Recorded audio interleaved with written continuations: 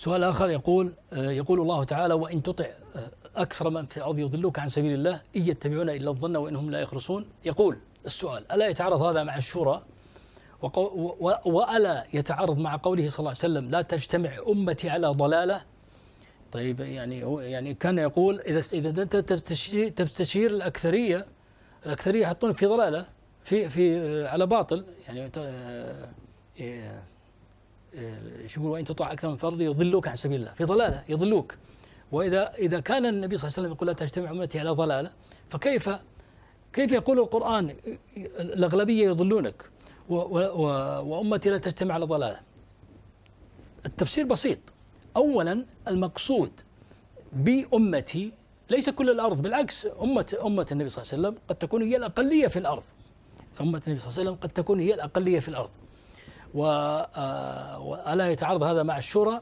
ونفس الشيء الشورى. الشورى ليست لي لكل الأمم الأرض. أنت أنت تستشير من في دولتك من في أمتك. تستشير سواء كنت تستشير الشعب كله في الانتخاب انتخاب الحاكم أو تستشير آه، مندوبي الشعب أو نقباء الشعب كما كما هو التعبير الشرعي. نقباء الشعب اللي هم آه، النبي صلى الله عليه وسلم قال ابعثوا ابعثوا لي منكم نقباء اللي هم البرلمان أو سميهم ما سم ما تسميهم. فإذا الشورى ليست لشعوب الأرض الذين فيهم من الكفار أكثر من المسلمين.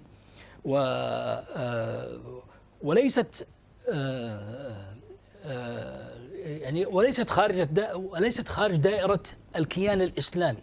داخل دائرة الكيان الإسلامي الأغلبية ما داموا متفقين على قال الله وقال الرسول في الجملة حتى لو كان عندهم تقصير حتى لو كان عندهم ضعف في الجملة ما دامت هذه الكيان الإسلامي الواحد الذي تحت سلطة واحدة الذي يستحق الشورى فأولا لن يجتمع على ضلالة وثانيا اختياره بالشورى سيكون هو اختيار الأفضل أفضل من اختيار الفرد. أما آه أن تضع أكثر من في الأرض هذا في هذا في العقيدة عموما في الشرك والكفر.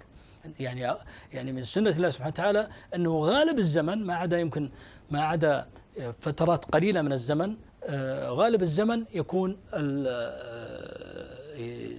يكون الكفار أكثر من المسلمين. طبعا ليس ليس ثابتا في كل الأزمان. يعني لما بعث آدم لما خلق آدم عليه السلام أبناؤه وأبناء أبنائه أبناء أبناء أبنائه استمر الناس مسلمون كلهم مسلمون. فإذا لم يكن أكثر الأرض أكثر من في الأرض كفار ولا حتى ولا حتى قليل من الكفار. كان كل الأرض مسلمون كل الأرض مسلمون إلى أن بدأ الانحراف بعده بأجيال وأجيال.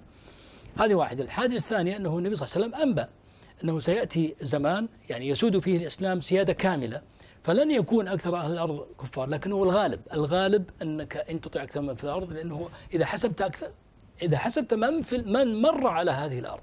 على مدى الزمن فسيكون الكفار أكثر من المسلمين. الشاهد أنه لا يتعارض مع الشورى ولا يتعارض مع قول النبي صلى الله عليه وسلم لا تجتمع أمتي على ضلالة.